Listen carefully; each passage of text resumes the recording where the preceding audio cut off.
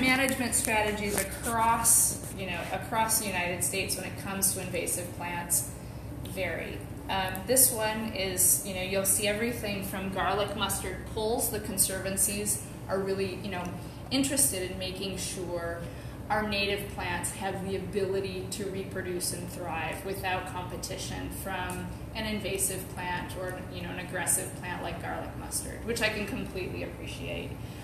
Using herbicides or any kinds of chemical applications, I always kind of tilt my head at when I think this plant came over with humans to eat, and we're trying to kill it with herbicides. and it's a plant full of nutrition. So if you wish, you can go ahead and take, did you, if you captured a leaf, if not, you can grab a plant, give it a taste, crush it up in your fingers. Um, I had mentioned, you know, of course, this is only after you've favorably ID'd, positively ID'd a plant, and not just kind of ID'd a plant, but you really know what it is, right? It's important that you know what it is. I'll talk about another plant in a minute why that's important. Can you crush it up, put it under your nose, and maybe even, you know, taste it and, and give it a chew? And I've said it's okay. And it's a really bitter plant. It was also harvested today at 3 o'clock in the afternoon in the bright sunshine. That is not the time to harvest garlic mustard. Garlic mustard is best harvested in the cool early morning. How many of you grow lettuce? Okay, only a couple. Um, anybody that grows greens knows that greens are best harvested in cool weather. The greens, if you harvest them in the heat of the day, in the heat of the sun, it increases the bitterness and reduces the sweetness. It's opposite with berries, right? You want to pick your berries and pick your tomatoes when the sun's on them and it's full sun and the sugars are high. Um, think about grape growing. You want to have those sugars be super high to get maximum sweetness. It's the opposite with greens. Um, harvesting these in the cooler weather temper the bitterness and bring out the garlic. So you can go ahead and crush it up. This is a, anybody making basil pesto right now? Awesome. Totally encourage basil pesto making you can add fistfuls of this. Every spring, I make a pesto to kind of bridge, because I always invariably run out of basil pesto.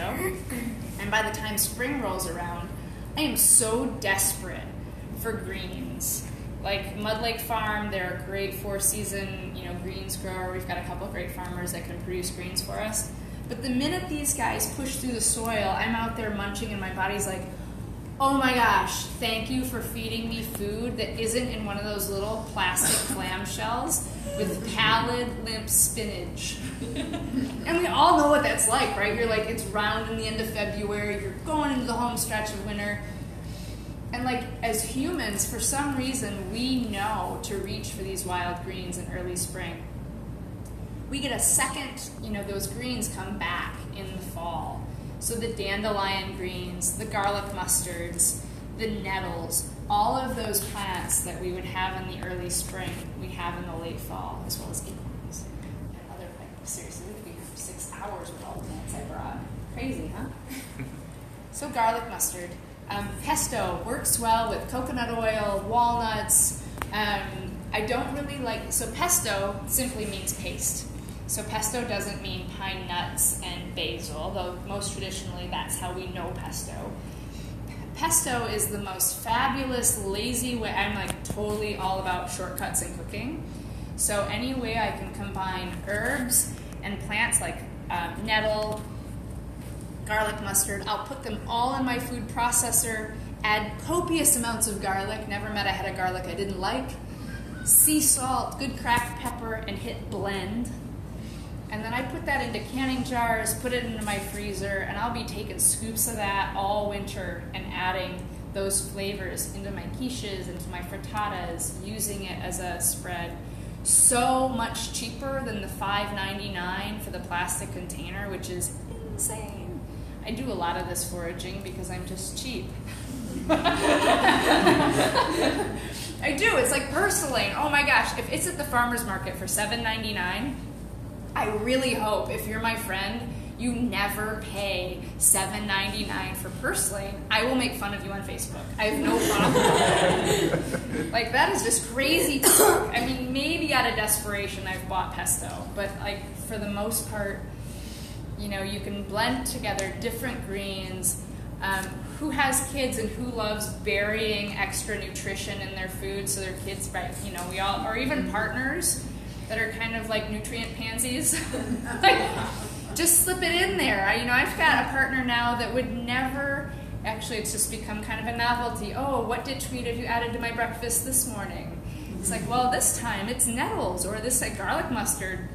You know, I actually maintain garlic mustard populations in the springtime by cutting those greens and putting it into the omelets that I make for breakfast. I mean, it's just right out the door, super free. Um, you know, I really do love that these foods are available to us. Um, I always love that I'm, I'm grateful for that added nutrition I can bring into my home, but I always do look at it as a relationship. I look at it as a relationship with my plants, as a relationship with the soil. Um, I teach my children um, how to say thank you to the earth. Like, I don't view because of the sort of the environmentalist that my dad instilled in me. you know, I'm obligated to be a steward for the resources that we have, and um, and I think that's an important part of being a forager, and especially. Um, you know, because our, our earth does need a lot of help and care in that way. So that's like the only side side rant about that. So questions about garlic mustard at all? I brought a ton of plants, and I'm almost like not even sure which one I want to talk about. No questions yet today? I did want to let you know there's someone watching online who who just saw you at the herb fair. Hey! We're being live streamed. I don't know where we're being live streamed to.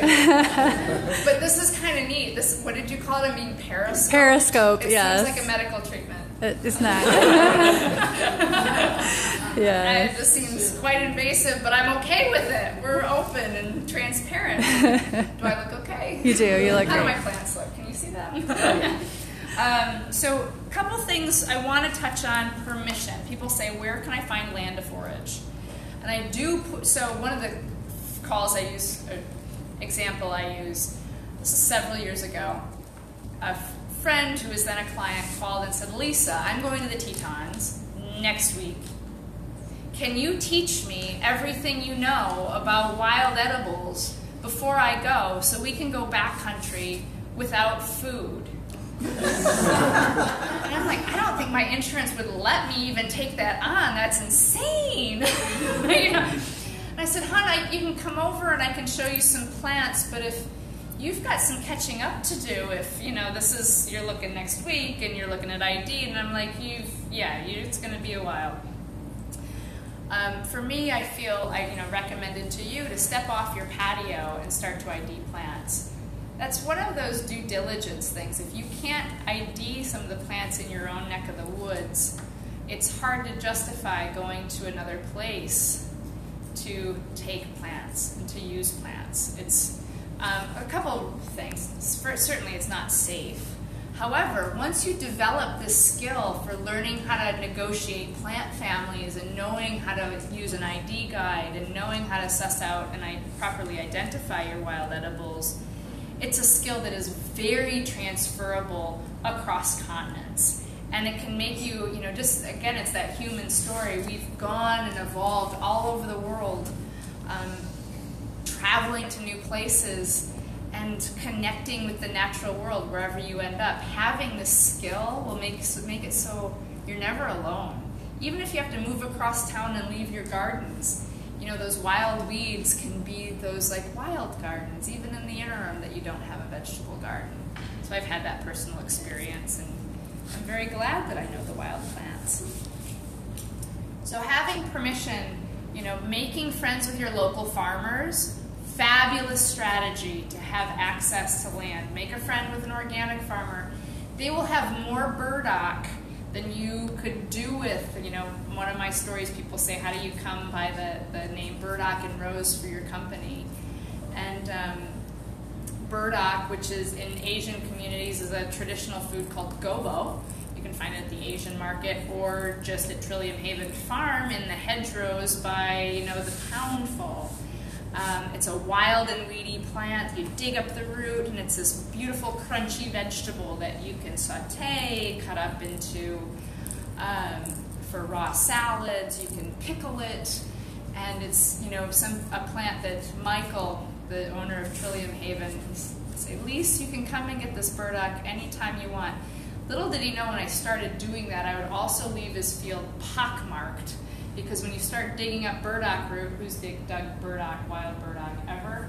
Who's trying to get rid of it in their garden? No? Okay. It's a big, yeah, exactly. big broadleaf weed.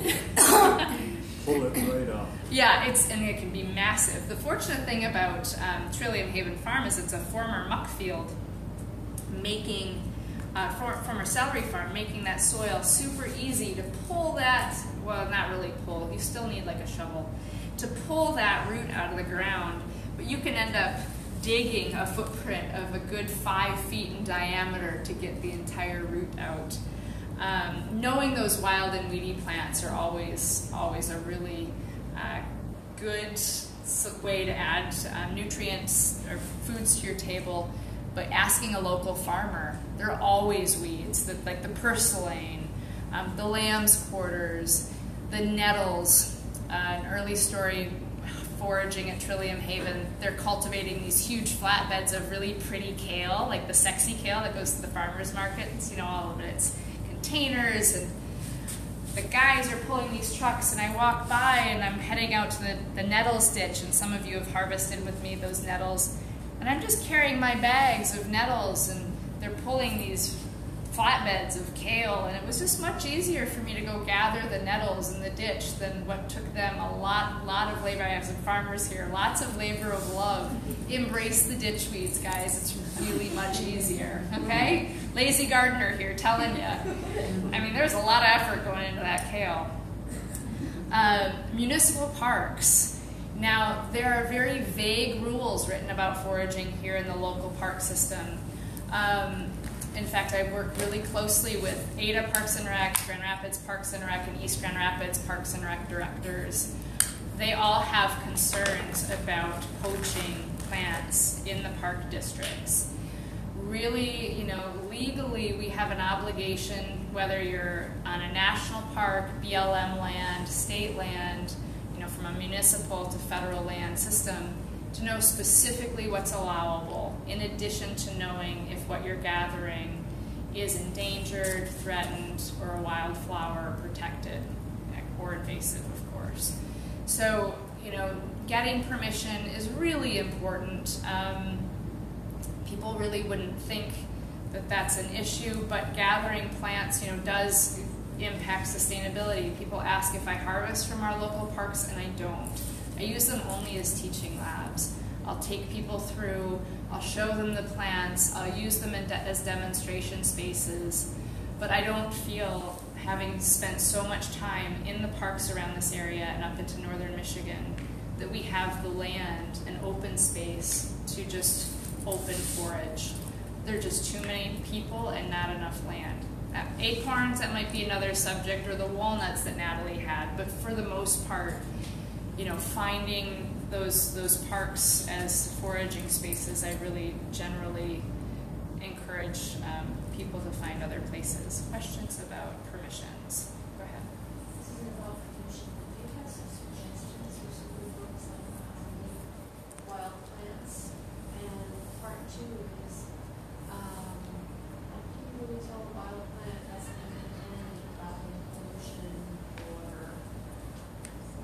herbicides or something else that would be dangerous to you? Okay, so the two questions. One were field guides. Um, the bookstore here, as well as our local library, have a compendium, Peterson Field Guides. I don't feel any one field guide is going to do it.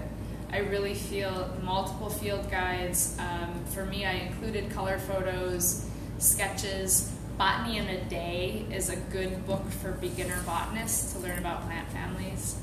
Um, the resources are really quite exhaustive when you start to seek um, beginning resources. In my own book, I chose plants that are easy to identify without any poisonous lookalikes, with the exception of the carrot, the wild carrot. Okay. Um, the second question was, which we'll talk about next. The second question was, how can you identify if, or know if a plant's been contaminated with an herbicide or pesticide? Most of the time, Most of the time, you don't know. Um, there are a couple ways, you know, the I mentioned things to be concerned about heavy metals, contaminants, knowing the history of the land as a forager is going, you're not testing the soil, right? You're not testing those plant parts. So you have to kind of rely on deductive logical reasoning as to if you think land's contaminated, you might go with your gut instinct and find a different place to harvest. Um, knowing your plants and the plant parts helps you understand how potential contaminants could populate in a plant. Not all plants take up nutrients and contaminants the same way, okay? I mentioned if you're downriver from something, meaning a CAFO, a factory farm, or even, you know, just every time it rains, and I grew up in the Spring Lake, Grand Haven area in the 80s, every time it rained Grand Rapids, my dad, we'd have an E. coli non contact advisory. My dad wasn't happy that we couldn't be on the water. now, that happens, that still happens quite frequently, non contact advisories. If you're out harvesting your nettles in a wetland adjacent to an area for a non contact advisory, or downstream from agricultural runoff or a factory farm, or even just a small scale animal farm, that could mean potential contaminants of salmonella and E. coli. You're not going to be able to necessarily test for that, but those are things you really should be giving consideration for. Wetland harvesting, harvesting cattails, harvesting um, any of the wetland plants, also along with nettle, can take up the you know the different contaminants. The wetlands, those are our land's um, lymphatic system. So like our bodies have lymphatic systems that can help clean and clear disease um, and illness. The wetlands are those those mechanisms for the land and can really help clean and re- rejuvenate contaminants. So if you're going to be harvesting from that, you really have to have some sense of place and what could possibly be running into those areas. In western Michigan, the biggest problem with our watersheds is agricultural runoff. So any any place you're harvesting downstream, this is why as a forager, wetland conservation and ag, you know, really working in agriculture, that impacts my wild plants. That impacts my watersheds. We can't be foragers and not talk about some of these issues because it's all connected. So I didn't give you a direct answer. Um, you can start to recognize signs of herbicide treatment by plant burn. So Japanese knotweed is a delicious springtime wild edible, tremendously invasive. Parks management and um, along easements, public easements, herbicide applications are used, and it looks like a distinct chemical burn. You can tell, like if everything's green, and you have a, an 8 by 8 area that clearly has been browned and dried up, it's like, huh, that's probably you know a chemical burn, deductive reasoning. If it is an easement, we have the public right to call our utilities companies to ask about topical sprays, but they don't always disclose. Um, at the Blandford Nature Center, when I was the director there, they have about three miles of easement through the Nature Center. I came back to my desk one day to a note from consumers letting me know after the fact that they had sprayed my easement.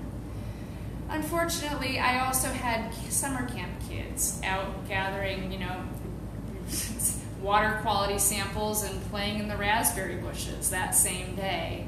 And it was like we had a conversation of how we work with public notice. But as individuals, you know, they're not the best with public notice. So trying to suss out, learning what that plant spray might look like, learning the growth cycles of individual plants, that's also part of the responsibility of, of being a forager and with those wild edibles. Does that make sense? Okay. Easements are a, a big one.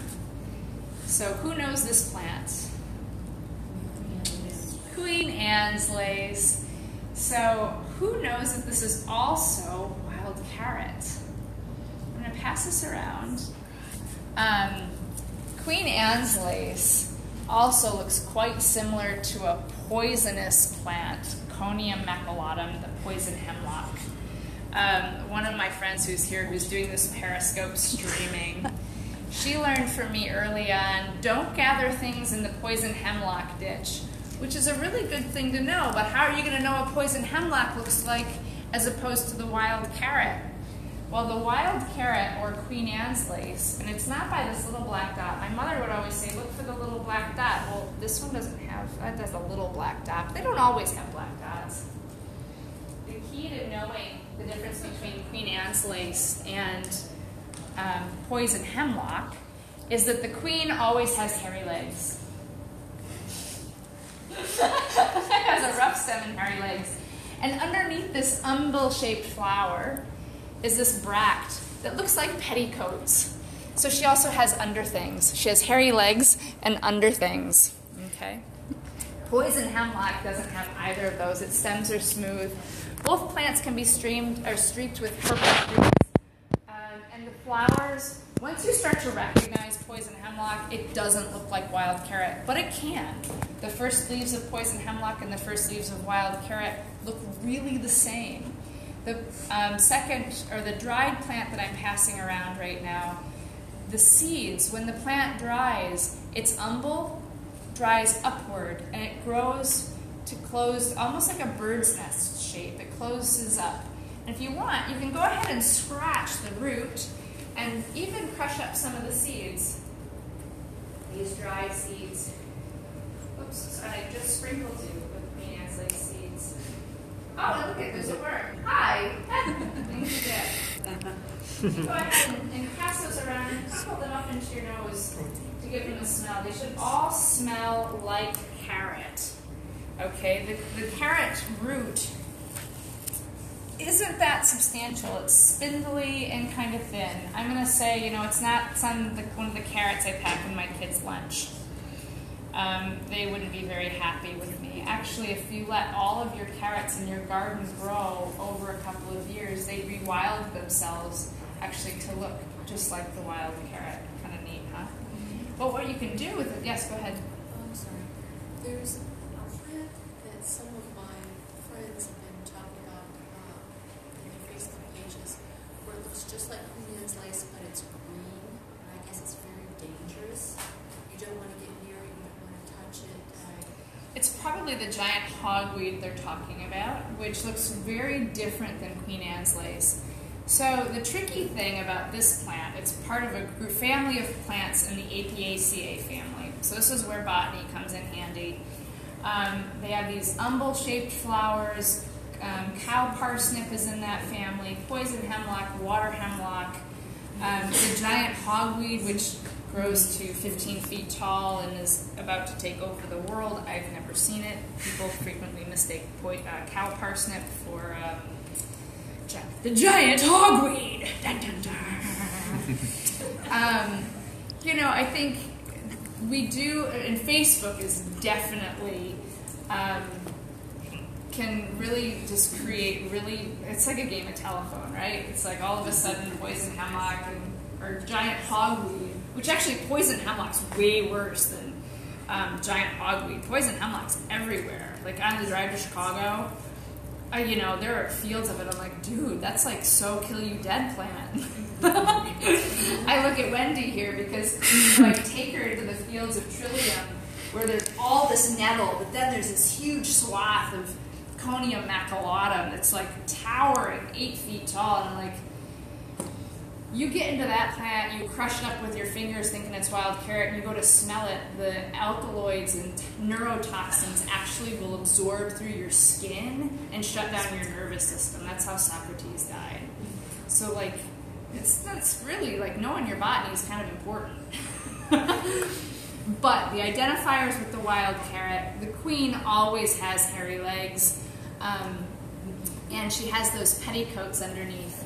Now, edibility, I love the seeds. If you're just on a hike and you have bad breath, you can actually chew on the seeds. It's a great, it's a great mouth refresher. Trail runners, you know, always you've got like dry mouth or just want to chew. It will actually cause a tickle in your throat. So if you don't have any water to, to throw back, it's you don't want to, you know, start to wheeze.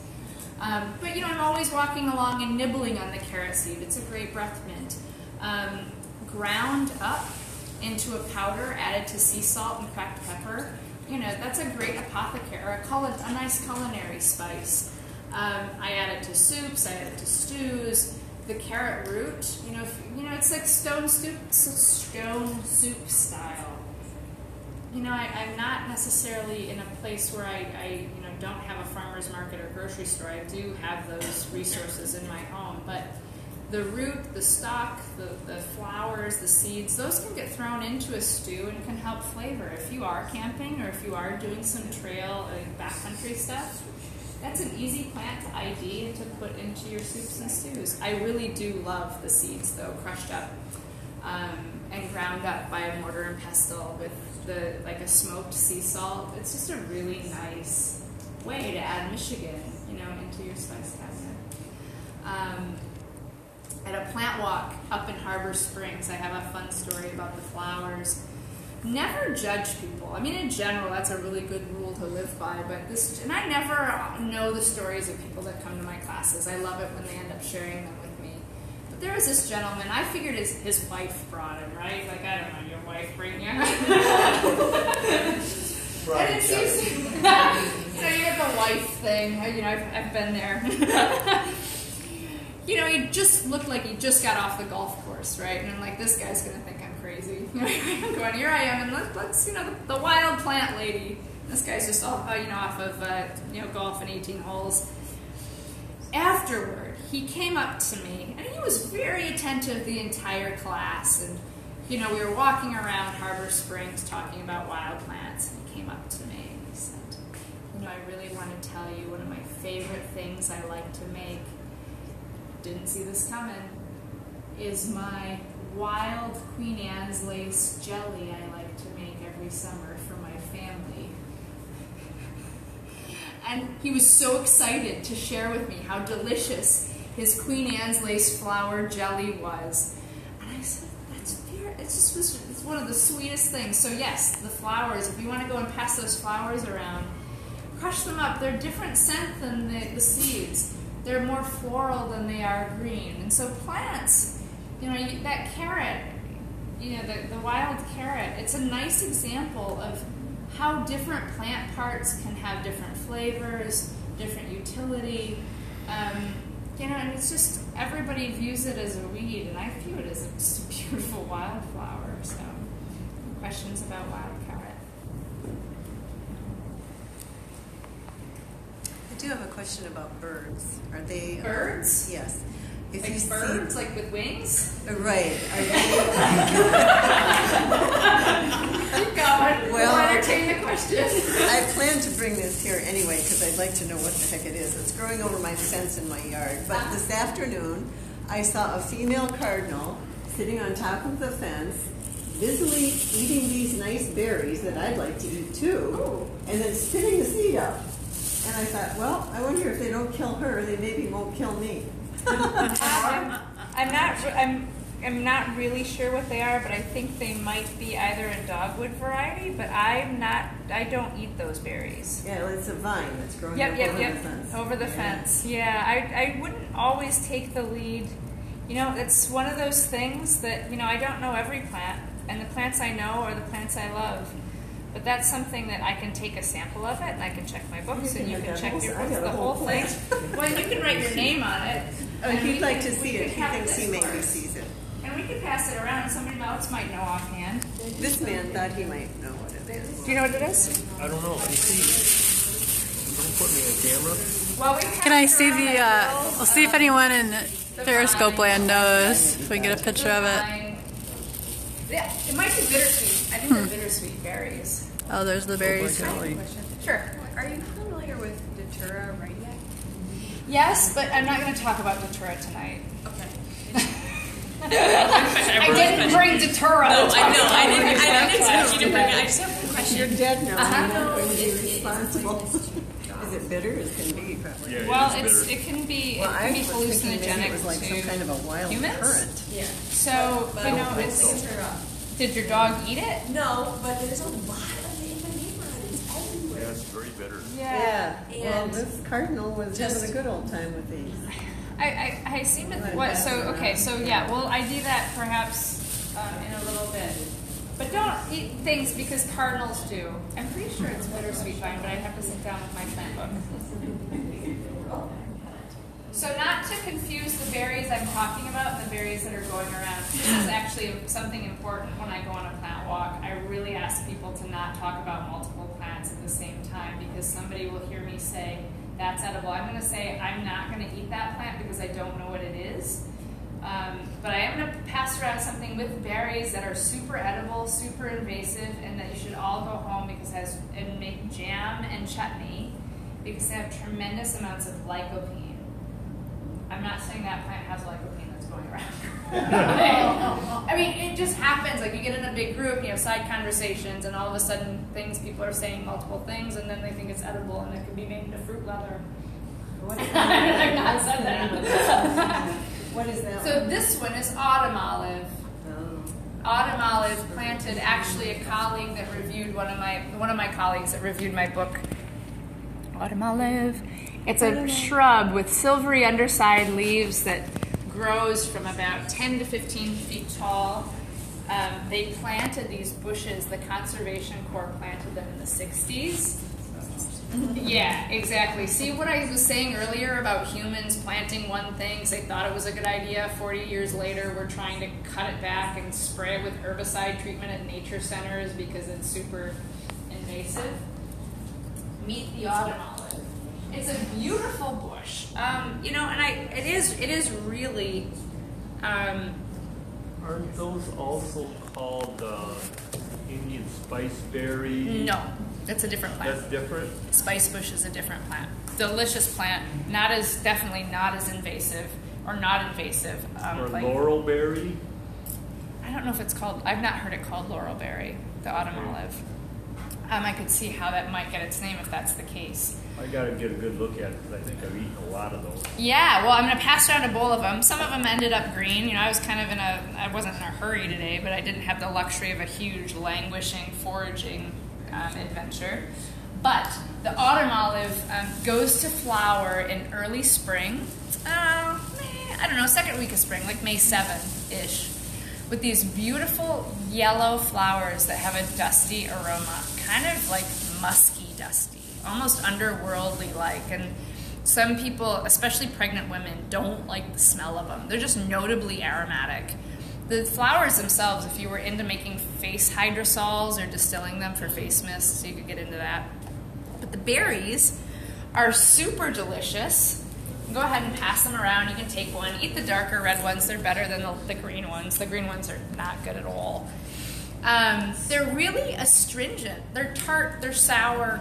They're, if you take a moment to really pay attention to the, the, the surface of the berry, it's silvery, dotted with little flecks of um, yellow. There's really no other berry that looks like that one.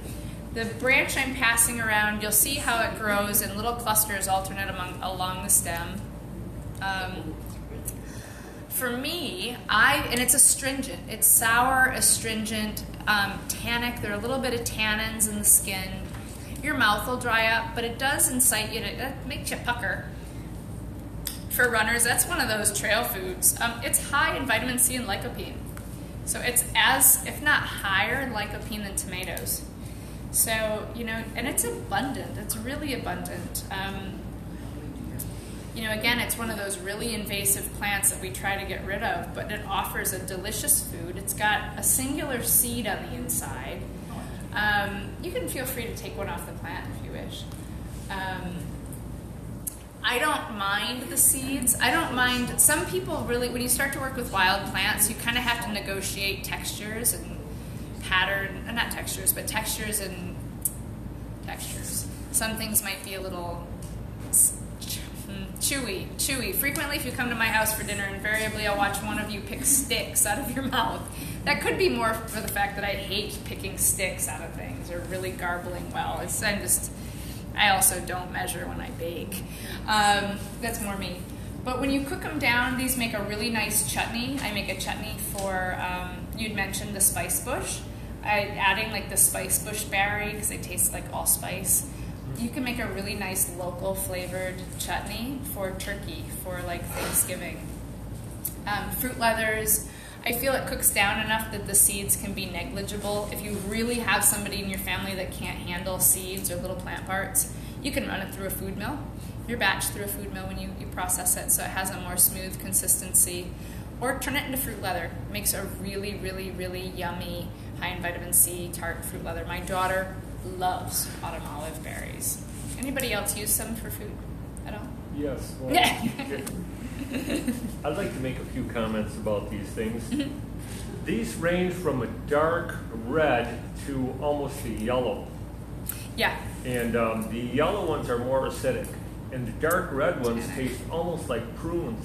They're, they're sweet. Yummy. Mhm. Oh, they're, they're delicious. Did you get to the bucket? I brought a bucket of them. No, I didn't yet, but um, but um, the bees in spring love these flowers, and it produces a very robust, uh, musky type honey.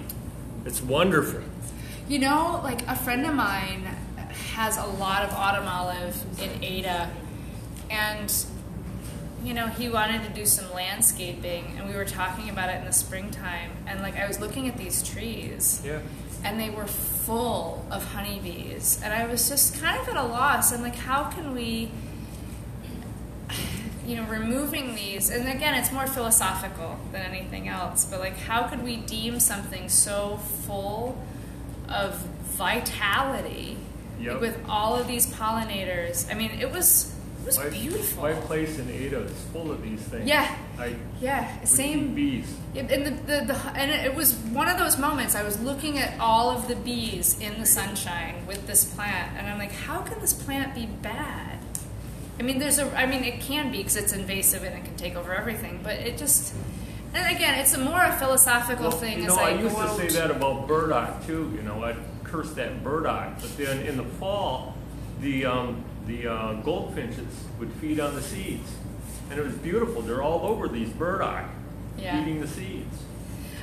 You know, there's we're the the Earth is smarter than we are. The Earth, and we seem to deem. I mean, we make judgments on plants the same way we make judgments on people. If we can't see an, see an immediate use for something, then if we can't see commercial value out of it, then it must be bad or it must mm-hmm. not have a value. And I mean, looking, watch, and I, I again like what I started with, getting outside and paying attention to these things and to kind of it brings us into a better awareness of the natural world and makes i mean we can't outsmart nature. Nature has amazing systems that can guide a lot of our you know human design and human thinking um, if we pay attention and if we really and challenge some of the things that we think about ecology and preservation and conservation. I mean, I don't have answers. I have more questions than I have answers every time I go outside. I mean, aside from, you know, knowing if it tastes good and it's not going to kill me dead. or like catnip. I love catnip. I didn't even bring catnip, but. So yeah, I, thank you for sh- having. I'm glad that we share that in common because I, I just feel, I feel the plant needs to be stood up for. It does. Wonderful, wonderful plant. I, I taught my dog to eat that stuff. He'd never starve. Uh, well, you know, acorns. I, I, it's like I'm torn. Do I want to talk about acorns? We'll talk about acorns and goldenrod. We'll talk about acorns and goldenrod, And and then, huh? And nettles. And nettles. I didn't even bring nettles. We have to go out on a plant walk for nettles. I have um. Oh, spring plant walks. I really love nettles. I really love acorns too. We'll talk about goldenrod and then acorns. So goldenrod. Goldenrod is one of my favorite. Oh, I, I say that about everything, really. Quite before I go on to another plant, any questions about autumn olive? No.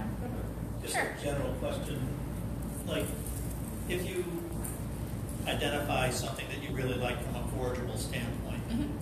are, are they then cultivatable? Oh yeah, In yeah, terms yeah. of, of like creating your own foraging environment?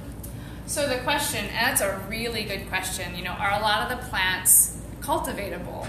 Yes. In fact, I really am a big proponent of what's called permaculture, designing spaces and land um, that, that aren't don't mimic. But you know, so you have woodland gardens and you know, debate, you know, really cultivating rich woodland gardens with like a nice healthy understory, you know, with edible nuts and a healthy canopy. Um, berries along the edges of the, the hedgerows. I mean, that's where you find the berries, right? That's where you find. I brought raspberry leaves. It's like I want to talk about all these things, but we really would be here all night. Um, you just have to come to another class. um, you know, adding berries to the hedgerow. Sometimes though, wild plants just have a thing. You know, they'll some of them will just have they'll grow where they want to grow. Like they have, I'll try to cultivate weeds. I'll try to cultivate mullein. I'll try, you know, I'll try to plant burdock, and they, you know, they'll grow where they want to grow. So, and that might just be the lazy gardener in me, but it also, I mean, I really love to encourage people to plant edible spaces around their homes. Because at that point, then, then you know the history of it. You know Yeah. that it hasn't been treated. You know that you aren't going to Exhaust. or- Yep. The wild leeks are a great example. There are a couple farmers in southeast Michigan that are growing stock based on wild cultivars, um, you know, propagating it for home gardeners. And, you know, I've transplanted, you know, in the field, I transplant to different places to help cultivate stuff. Um, but I've also, I've added those plants into my own woodland gullies. And so I, I know how much I can take and how much I can use. And honestly, the back to the wild leek, clipping the tops only is truly the only sustainable use of the plant, and that's. Um, one of the native traditions is to only, in the Cherokee tradition, to only use the tops. So, I mean, to cultivate those spaces um, in your own home environments is really, it's it, it, it just makes healthy land around you. So I'm a huge, huge, huge proponent. And play around with it. Like if you have that type of interest to, to graft rootstock, to graft you know different trees, um, play with it and have fun with it. And I think I do love people also planting landscape that's edible, like Kousa dogwood that has an edible fruit and just multi-purpose. That's good for both people, pollinators, and birds and animals and things. So, so long answer, yes. Um, the goldenrod. I could talk an hour about goldenrod. Um, the goldenrod is a plant of summer. I'm an August birthday, right about August 18. And um, right about that time, like summer ends and the light changes and it turns into the long shadows and the blue skies that you get for September and fall. And all of a sudden everything's goldenrod. Um, we also at the same time everybody I hear the sneezes gets their allergies. Well, goldenrod people people seem to think that it's goldenrod that causes the allergies and hay fever. It's really the ragweed that grows right adjacent to the goldenrod. Invariably, where there's goldenrod, there's also ragweed. Ragweed's pollen is airborne and light. Goldenrod's pollens are too heavy. If you actually watch the honeybees in the goldenrod and they collect the pollen, you can see the goldenrod pollen on the feet of the bees. It's kind of neat. Um, the goldenrod, so what do I want to say about goldenrod? Where to start? I'm going to pass this around. There are about 20 species of goldenrod in Michigan and in the Great Lakes area. And um, you'll notice that, like when you go out into the field, all different arrangements of goldenrods. They all have a notable characteristic, however. The blossoms are slightly aromatic, um, but the blossoms also are bitter and astringent as well as the leaves. Okay, and by bitter and astringent, I'm going to pass this around and encourage you to take a little piece of flower and a little piece of leaf and give it a taste separately because plant parts, as I said with wild carrot, um, all plant parts can sometimes taste different. The flowers are aromatic, the leaves are more bitter and astringent.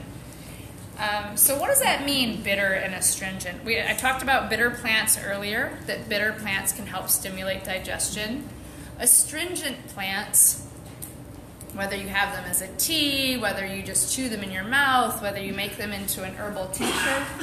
It doesn't matter if it's an alcohol based tincture or a vinegar tincture. Um, astringent plants will just dry up your mouth. It'll tighten and tone tissues. If you were to wash wounds with astringent plants, it can help um, dry up a wet weepy rash of poison ivy, for example. I don't use goldenrod for poison ivy, but there's some astringent plants that I do use for poison ivy or for burns to dry up lax tissues. Um, goldenrod. Oh, where do I want to go with goldenrod? That hay fever that that ragweed is causing. Goldenrod is your antidote for that ragweed. It's leaky drippy. I put that into my leaky drippy blend. with A couple other really great plants. Um, cat allergies. Goldenrod. Goldenrod is a tincture extract, um, an extract in like a vodka or a glycerite if you choose not to use alcohol.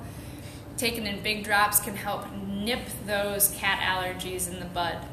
Um, I won't get into colds because you don't want to stop a runny nose from a cold, right? That's a little different than a runny nose from an allergy. Why? Why are they different? It's healthy. Exactly. Yeah, the runny nose from a cold is an immune response. I mean, technically, the runny nose from a cat allergy is also immune response, but trying to take care of your runny nose from your cat allergy is different than stopping a runny nose from a cold or a flu. Go ahead. I have noticed that if you give up dairy, your allergies go away. Truth. So, Dairy. the, the comment was giving up dairy will help allergies. In fact, I do an allergies class in the springtime. Um, anytime you can reduce the, the load on your system, reducing alcohol, reducing coffee, reduce which I'm terrible at doing, um, reducing dairy, anything that puts that additional load on your system to metabolize um, will help you deal with other environmental allergies, which leads me to a wonderful use of, of um, goldenrod as a digestive tonic. That bitterness um, can help stimulate digestion. I was on a run, this was during my birthday week.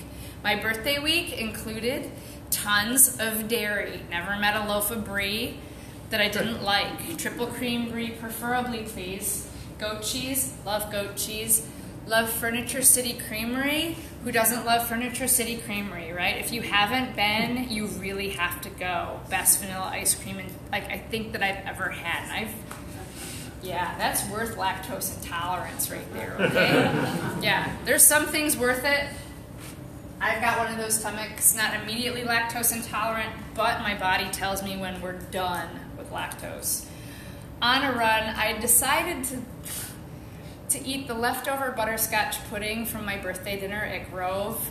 Really close to going out for a run. I thought it's just butterscotch pudding. How bad could it be? I'm used to gels, like goos. Mm-hmm. Butterscotch pudding is really just a goo in disguise. like all these reds. Like I could eat a bunch of it.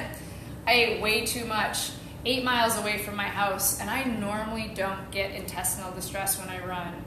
For some reason, this butterscotch pudding was not a good idea, and it was a really inconvenient, you know, issue. I'm like, I actually have to walk, and my stomach was like all chicken winged up. I didn't know if things wanted to go up or down. I just actually just wanted it to have like some sort of stasis. I'm in this field of goldenrod, and for me, I've been in a lot of different um, environments. Uh, worked in a clinic in Nicaragua where we didn't have the pla- working with local um, NDs and MDs and a couple of local herbalists where we didn't have medicines that we would like to use. So used to substituting for different ailments, and I quickly thought, goldenrod. I would use digestive bitters of gentian, Oregon grape root, like for serious stomach distress to help, you know, stimulate that digestive process. All chicken winged up from dairy or butterscotch pudding, but all I had access to was goldenrod. And so I took some of the flowers and I put it in my, my mouth, and I just kind of put then a lot more in my mouth, and just really hoping I didn't have to call home and ask for a lift. Like I'm not one, you know, this was like a this was a bad idea. I didn't don't try new foods and then go for a longer run. and honestly, I felt things kind of click into gear. It's aromatic, so aromatic herbs can stimulate digestion. Think of the corianders, think of all of our curries, the caraway seeds, the dills. So these flowers have these aromatics and bitter flavors that work as what the word is is carminative. It can help stimulate digestion. And I'll tell you, I was really happy to have goldenrod, uh, you know, on hand. Um, so I will always, you know, I, and I've used it for. I, I have other herbs I'd prefer for digestion, but as a field remedy for upset dairy stomach, give it a try. I mean, I wouldn't suggest it as, as a substitute for Lactaid or some of your medicines if you need them, but good in a pinch. Are you putting are you putting yogurt in the dairy? So that's a whole other class, the difference of fermented foods Okay. and but if my system personally, if my system's overloaded, there are some yogurts I can do and some yogurts I can't do. It's really, eh, you know, eh, I got one of those stomachs. so, but fermented foods, probiotics, I mean, fermented foods are good in general over conventional dairy. Absolutely. Another question. Um, you mentioned there were twenty some species. Um, are they all edible? Yes, they're all edible, they're all interchangeable, they all have um, similar characteristics and usability. So they're definitely interchangeable. How I choose my goldenrod, it has to be a sunny day. So the Latin root for the word is uh, solidago, and sol means sun. So it's a plant of the sun. Um, I find my goldenrod by following the honeybees. Um, you know, my dad really instilled in me when I was young to love our bees. I'm grateful to him for that. And to me, I feel the bees are, are Earth's first herbalists and farmers, right? They tell us the plants that have the most nectar. They, they, they cultivate. They're our first cultivators. They're our cross pollinators. They, those bees, watch the bees, they know. bees know. So they always choose the most aromatic plants. And if you want to, do I have any beer makers in, in the room? Beer brewers? Good. The flowers. If you dry the, the, the tricky thing with the um, goldenrod is that if you go to, it's an aster family plant. So the minute these go to, to dry, they dry in these little poofs. Okay, they don't dry nice like rose petals. They go to this poof stage, which if you're in a field, you'll see plants of different stages, and they'll go to this fluffy white. So if you want to dry it, I always dry um, large bundles of it with a loosely fitting like paper grocery sack over top of it, so you're not mad because all of the little poofs have covered your carpet. Okay, pro tip. I've done that, so you don't have to. um, for my beer brewers, the aromatics work really nicely as a fresh plant in the second, um, when you go ahead to add in your second fermentation and boiling. But you don't want to over boil the plant because it'll extract the bitters. You want to really just have it in there for a bit of time to get the aromatics out, okay? Too much long boiling of this will just make you, it'll make your ales way, in my opinion, way too bitter. Um, and that's not what you're really looking for. You're looking for using the, the fresh aromatics of the plant um, that I think it's really pretty. Leaky drippy, stomach digestive aid, nice culinary flavoring for brewing. Musculoskeletal. Um, Matt Wood's an herbalist out of Minnesota, and he likens this. Um, well, I've actually used this quite a bit for musculoskeletal, um, musculoskeletal bursitis type um, remedy extracted in olive oil as a massage. So the leaf and the flowers extracted into the oil, um, or even topically as a tea, as a, limit, a liniment, or a tincture as a poultice on bursitis, um, mixed with plants like yarrow or St. John's wort can help um, as a first aid remedy and can help um, the bursitis, like ski boot bursitis. Anybody experience like ski boot bursitis, any or hockey skate bursitis, or the type of bursitis that might come from having a, I've got my ski coach back here, my, my ski my ski patrol, ski patrol, like trauma, blunt trauma, and you end up with a side, you know, past the, the immediate stages of your, your swelling and after the swelling's gone down, but you can still have that swelling on the joint. Um, it's a really wonderful massage oil. For rheumatoid damp arthritis, also excellent. I mix it sometimes with um, cayenne or ginger to put on the skin to help warm damp and cold muscles and cold joints. Helping that circulation get to the joint helps relieve some of the damp creakiness. Um, fibromyalgia, I've had a couple of clients that have really found um, the golden, gosh, one of, one of my gentleman friends really suffers from a lot of rheumatoid arthritis. Straight goldenrod oil. Um, it's like I offered some to him, and I watched him put it on his wrists, his elbows, his knees, and he was like, "This stuff is great." I was just like, "Huh." There you go. And I mean, just some of that damp again, that damp rheumatic um, tissue, just the aching arthritis pain that can come. It's not like a topical analgesic like you might um, find like with an icy hot type. It's more of a, it's definitely a different type of, of uh, ointment's not the right word, but um, soothing that the plant can bring. I just encourage other people. I've, I've had enough personal musculoskeletal injuries that this is something that goes into my, my um, plant first aid kit. So, goldenrod mixes well with a lot of other different plants for different different things too. Mullein, mullein's good for back injuries. So, question about goldenrod. Anybody want to taste it again? You cook with it? For culinary flavoring, I really don't, aside from the brew, the beer brewing and Belgian ales. And Belgian ales specifically, if you try to overhop it, I think you lose the nuance of the flavor. Um, you know, the, again, it's urinary tract infections. It is really diuretic. I didn't didn't even think of the urinary tract. So in addition to cranberry, um, you want those astringent plants. Um, drinking lots of goldenrod tea, it's extremely diuretic. I, those that may have kidney issues or bladder, like really chronic issues, I may even steer away from the, the goldenrod because it can be pretty aggressive as a diuretic. But really helpful for a common urinary tract infection, can help clear that up with echinacea, and can be safely used adjacent to any antibiotics that you might get be given from your MD. But as a, as a food, I just don't like put it into salads. But it's just a helpful plant to get to know. Know its virtues because not a lot of people would ascribe virtues to goldenrod. So.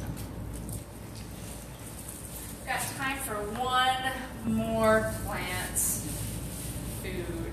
Questions up to this point before we talk about acorns? Would you be willing to share your, um, goldenrod rub for arthritis?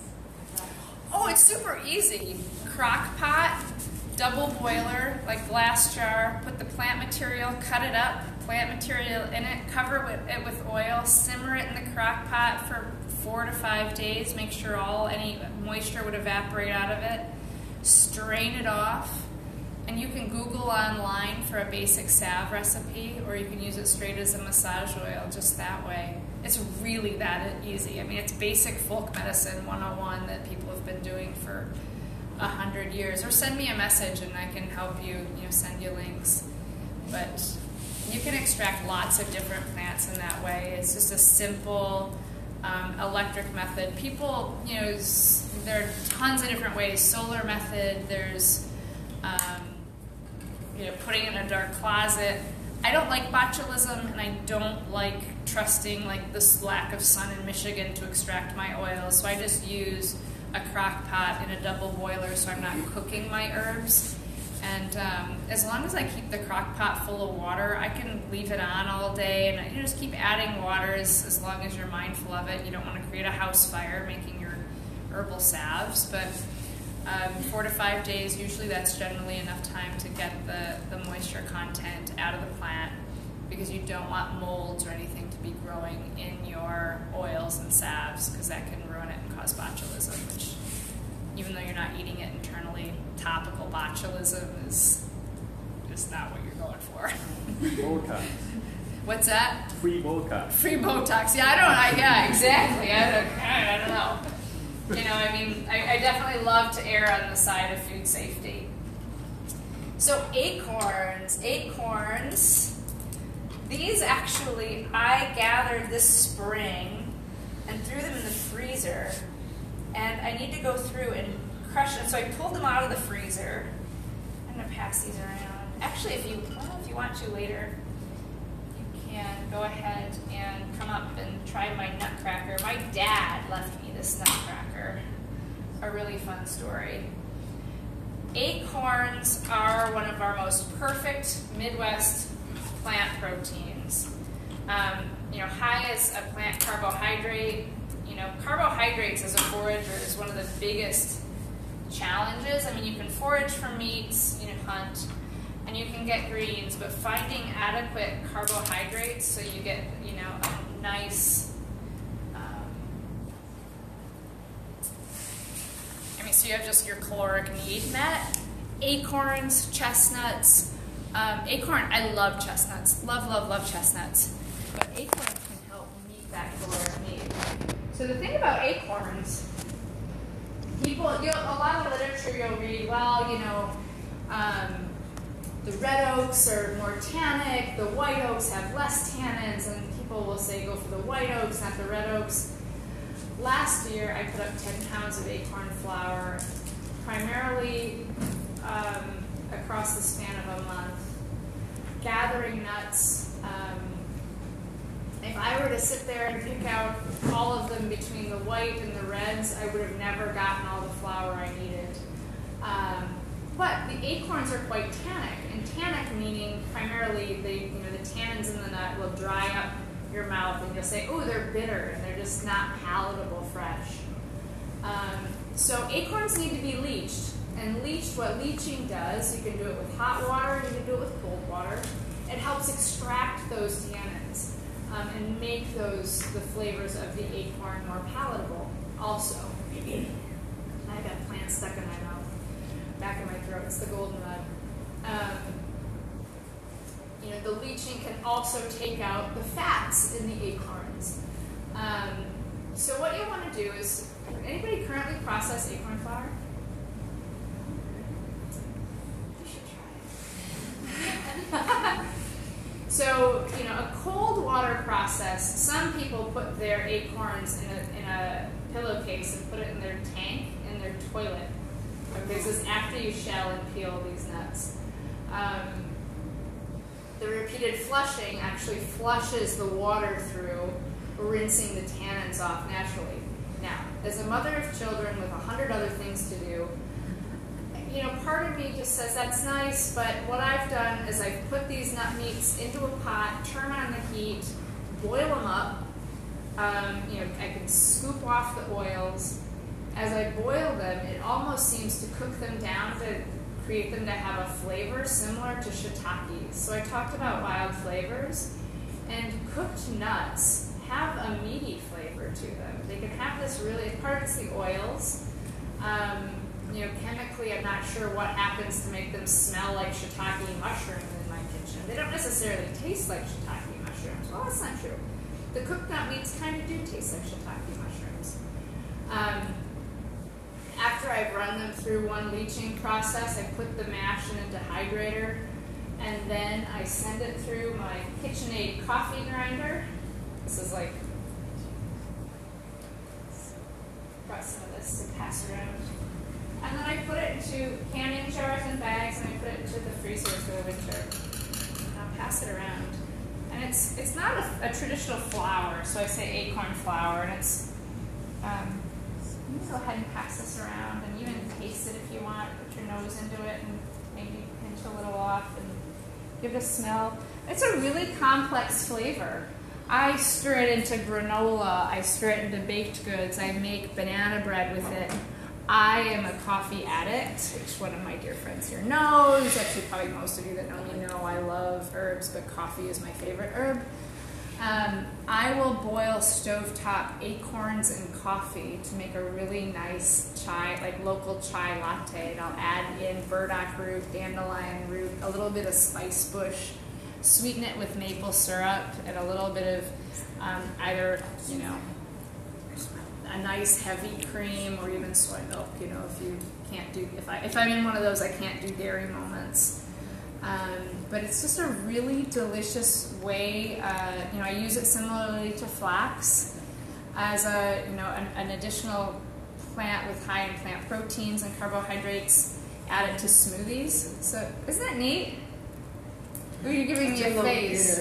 It is bitter. I, I mean, you're not going to eat flour raw, but if you're stirring it into granola with honey, with with nuts, I mean, with like walnuts, local walnuts, if you um, have the the abundance of local walnuts or like gold, if you take the time to process them, you can stir it in, and it's it is bitter if you're eating it on its own, but if you add it into foods, stirring it into oatmeal, stirring it into oat bran with just drizzles of maple syrups. Like, how can you go wrong if you have maple syrup, right? Yeah. So those are just different ways I like what kind of proportions, you know, how much do you put in? Baking, um, so this is where baking gets tricky. I am not the best flour blender. So if you were to ask me for ratios, um, I just sort of add more and make sure the liquids work out. Well, okay. you- Midwest foraging is not a cookbook. You, you understand, but um, you blend it with other flours, presumably wheat yes, or oat flour, yep, right? A basic, a basic standard recipe. Right. Okay. So you're talking about like one quarter, one third. Third. you know, I take out a half a cup of regular flour and add in like a, a, half a cup of, of acorn flour So because you still want your bread to rise. Right. So it may be half and half. ish, yeah. Yeah. Okay. Ish. Well, But the ish factor, like this is where it gets slippery. Yeah. Like in my book, I think I actually write consult an experienced baker for proper substitutions. That's not me. Like I'm a soup maker and a smoothie maker, and like did I then like I'll blend it into things that really don't matter in the end. I don't bake very well, sir. I just wanted an idea because Yeah, I'm ish. fairly experienced. Okay, good. Dude, if you have a recipe and it works out, send it to me. We'll, we'll totally work in partnership. I'll bring you flour, you can experiment. Tell me what works. So you said you gathered them in the spring, why didn't you gather them in the fall? Mm. Listen, I like you. Um, so I did gather them in the fall. In fact, um, my dad was at his end of life last year, and over three weeks since I didn't knit, I gathered acorns. That is one way actually to acquire the 10 pounds or more than 10 pounds, the X number of pounds, however, that yielded me all the acorn flour. This was a red oak up north that had dropped its acorns the season before. So, again, nature's funny. We talked about this leaching process. Red oaks have more tannins than white oaks. If you gather red oaks in the springtime, they have about the similar tannin content by the time the snows have washed through and they've not sprouted. They sprout later and differently than the white oaks. Then you end up with these nut meats that I just threw in the freezer because I didn't have time to do anything with them in the springtime. And I figured I'd probably have a lecture at Schuler's before my other nut harvest came, and so I just needed some acorns on hand. the rhyme and reason is so random. But you know, it's just part of the, the kitchen preservation. But knowing that those red oaks have been sitting over winter and leaching, I can actually just shell these, dehydrate them straight, and throw them into the blender. I'm not going to bother leaching them because they've been sitting all winter. And then they've been sitting in my freezer. When you freeze plant material, that changes the cellular structure of the plant and it helps break it down just by freezing it. So again, that, that just adds to, it can help diminish my processing time on the other side. I hope you've looked at your acorns differently. Yes. No, I was just picking acorns that you find randomly off the ground. That's safe.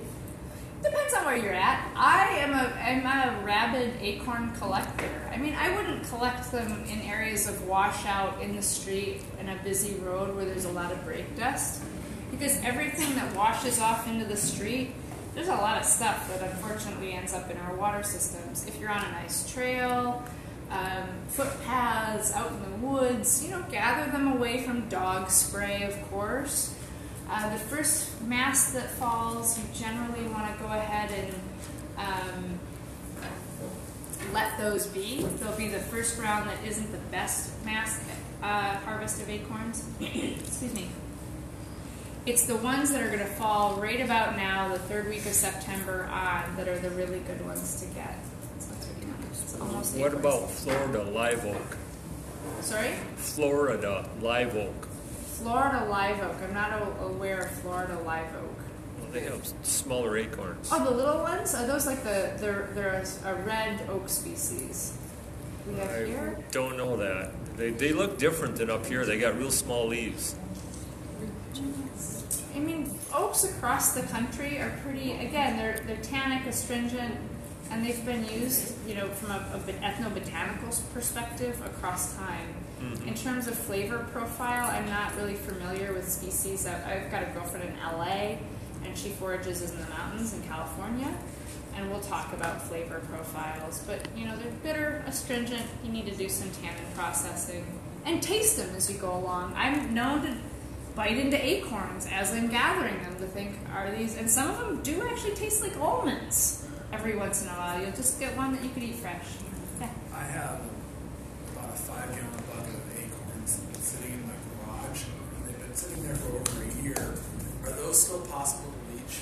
You know, I might crack them open, make sure they've not rotted or have. I mean, you're going to end up with bug infestations. They've been on a, like a flat surface, actually. Hmm.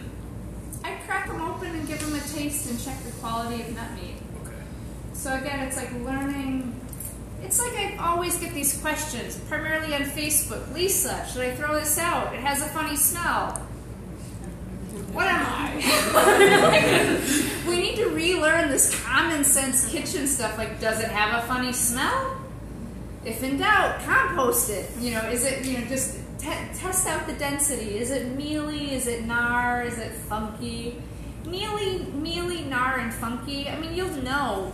Mealy, gnarly, funky, swampy. The tea's been on your counter for four days. It's probably got a swamp flavor to it, regardless of the type of tea. and again, these are all these common sense. When I said at the beginning, how long does it take for you to start doing some of these things? It's just experience. You know, it's being in the kitchen, it's incorporating my common sense as a cook, it's incorporating my common sense as a gardener, it's incorporating my sen- common sense as an outdoors person.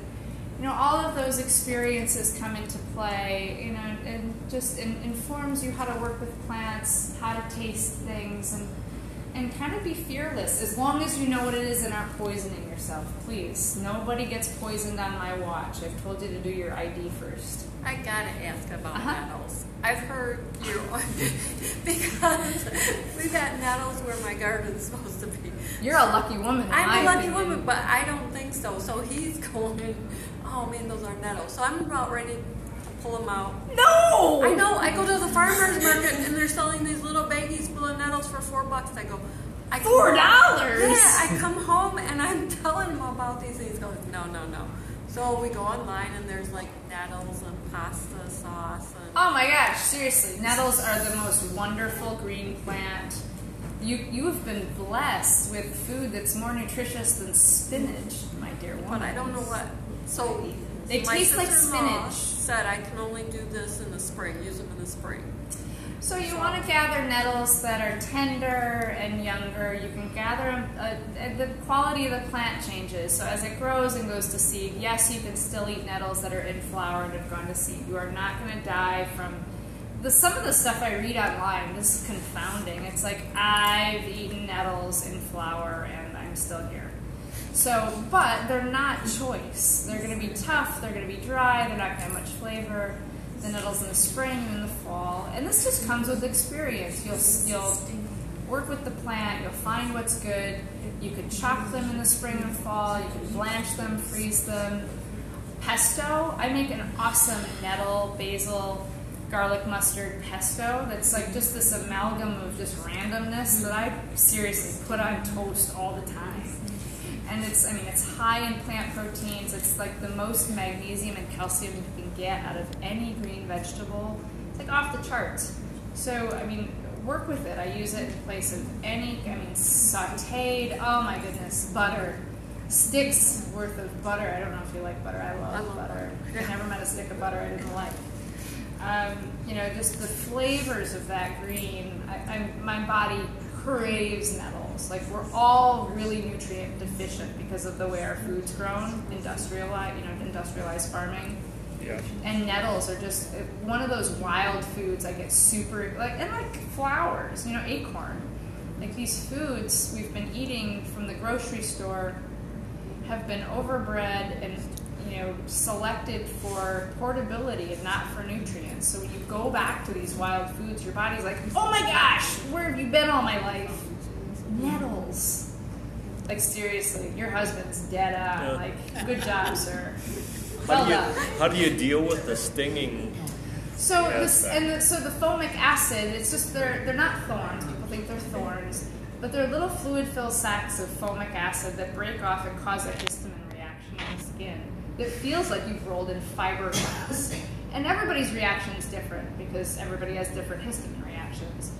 But you've not, you know, you've not gotten into a. It's not poisonous rash like poison ivy or anything. It's just really aggravating. Um, you can roll the leaves inside out fresh and get around the sting. But when you cook them, the formic acid dries up. Or if you dry them, the formic acid dries up. So just the heat or the processing will take away the So you pick them with gloves or Yeah, what? yeah, yeah. I mean, there have been times when I've picked them without gloves. Part of it's like the vitality of springtime. Let me pick nettles to remind me that I'm alive. And then I always complain because I feel like I rolled in fiberglass.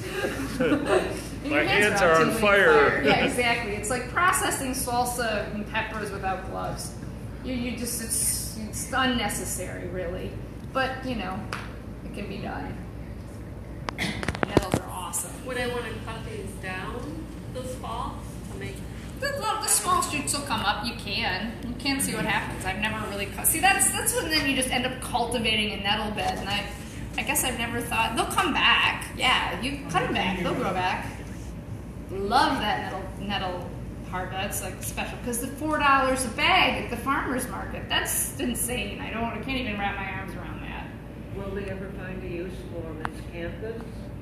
Remind me what miscanthus is. It's all that weedy stuff and all the, all the, um, rivers edges, lakes edges. Phragmites. Yes, The Phragmites. I have no idea, but it's horrible.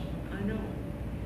Yet we think they find some use for it, so they can cut it down and manufacture it and make all something. It, you know, it probably could be used for cordage. For what? Cordage, like a cordage plant. I mean, I don't, I, I don't know how much cordage we're all making out of our wetlands lately here in the United States because that's been farmed out to different countries. but I mean, like some of the, we used to use plants in these different ways for food, fiber, and shelter. So. I wish we could build a campfire. Was it interesting? Did you learn stuff? Mm-hmm. Yay!